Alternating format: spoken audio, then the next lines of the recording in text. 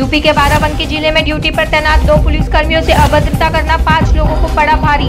कोतवाली नगर पुलिस ने पाँच लोगों के खिलाफ मुकदमा पंजीकृत कर, जिनमें से दो लोगों को गिरफ़्तार कर जेल भेजा। तीन लोगों की भी शीघ्र गिरफ्तारी का हो रहा है प्रयास। सिटी चौकी से दो आरक्षी घटनास्थल पर पहुँचे, जहाँ पर कुछ लोगों ने दोनों सिपाहियों के साथ झगड़ा, अभद्रता की वर्दी पर हाथ लगाया और सरकारी काम में बाधा उत्पन्न की घटना कोतवाली नगर क्षेत्र के विशाल मेगा मार्ट की।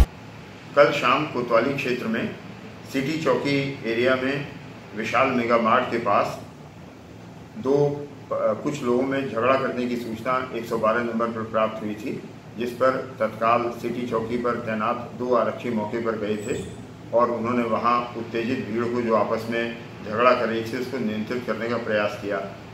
इनमें से कुछ लोग हमारे दो आरक्षियों से झगड़ा करने लगे। उन्होंने अभद्रता की उनकी वर्दी पर हाथ रखने का प्रयास किया। सरकारी कार्य में बाधा उत्पन्न की।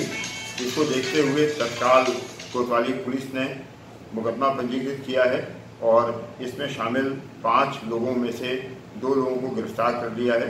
शेष की गिरफ्तारी के प्रयास किए जा रहे हैं। मैं स्पष्ट करना चाहता हूँ कि जो कोई भी व्यक्ति व्यवस्था पर, विशेष करके पुलिस पर हाथ उठाने का प्रयास करेगा, उसके खिलाफ कड़ी से कड़ी कानूनी कार्रवाई की जाएगी।